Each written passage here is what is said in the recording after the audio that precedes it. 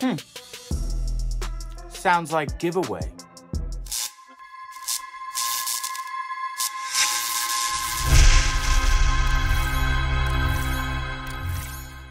Welcome back to the channel. It's your boy D-Rock and I am back with another video for you. Today we got that Iron Studios 110 scale Colossus, which, as you've seen from the intro, is going to be the next giveaway prize.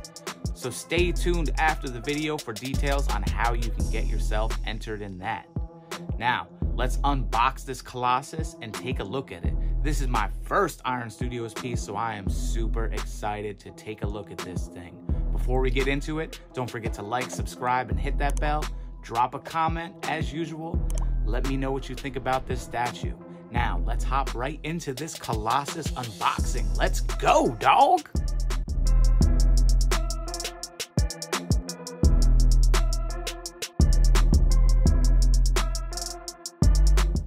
All right, we got your boy Colossus here, whose first appearance was in Giant Size X Men issue number one. He was part of the new team.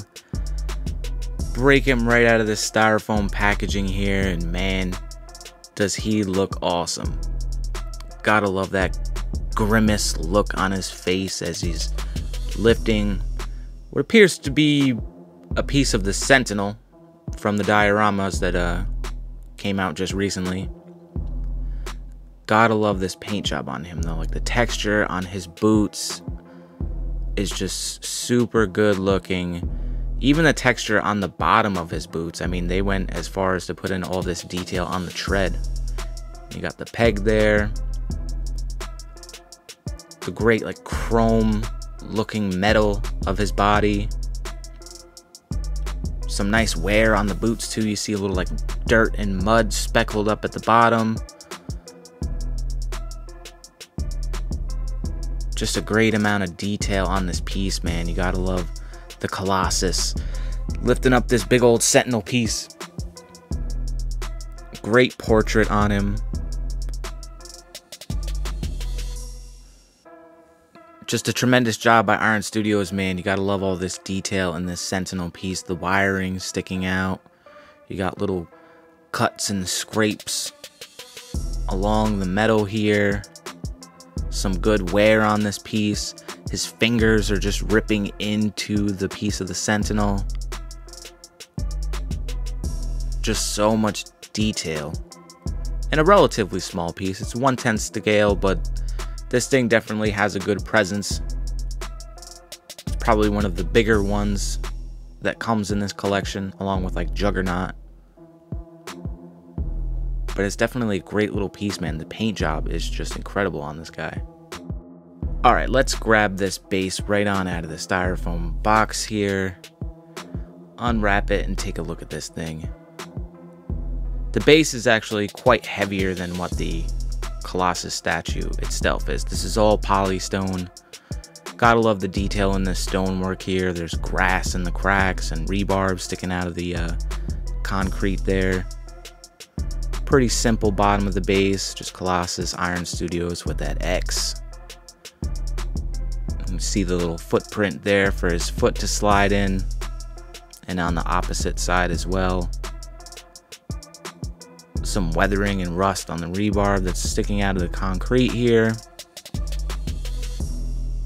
Just gotta love that they have this grass underneath the stonework too, and a little bit of mud and dirt so it just looks like it was ripped out of the ground. It's a cool little base. It's definitely a little heavier than uh, what the actual Colossus is, but once he's playing this, he ain't going nowhere. We'll get this assembly going, which, like I said, isn't very much at all. It's only two pieces. I thought maybe the Sentinel would be uh, placed in his hands, but he's actually one whole piece. So he just pops right into the base, Slides in no issue. And man, he is looking great. Definitely a cool little piece, man.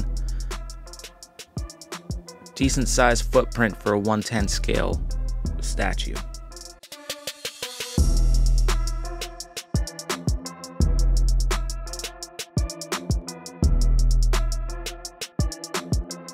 Now we'll just take some closer looks of him all assembled together. Just gotta love the grimace look on his face as he's about to smash this sentinel piece. Decent sized footprint for a 110 scale though, man. This thing has a good presence. It's uh, just under 12 inches in height. The base looks awesome. His feet slide in well. They they fit well. There's like no like seam in between. It looks good. I love the dirtiness of his feet. And then you got the little wiring sticking out of this sentinel and the wear from the battle just definitely a cool looking statue, man. And moderately priced too. This thing goes for $180, which isn't bad. Especially for how much details in this thing, man. All these pieces in this X-Men Sentinel collection are just real awesome looking. They're they're just so much detail on them. Gotta love the paint jobs, man. I mean, the texturing throughout these statues is just crazy the red and yellow texturing there in his suit and it just looks like real metal that he's made of, which is just great, man. His boots look awesome. Just a tremendous piece from Iron Studios. Alrighty, all you savages, thanks for watching the video. The giveaway is going down now. We are now on the road to 500 subscribers. To be entered in the giveaway, all you gotta be is subscribe to the channel, like the videos, and comment. Now I'm gonna pick a random video, and one of those comments I'm gonna use in a random comment generator. Whoever wins that will be the winner of this glorious Cyclops 110 scale Iron Studios prize. Now, good luck, get commenting, sharing, all that good stuff. Let's get to 500, dog. We made it to 100. Thank you all. Now, I'm out of here. Peace.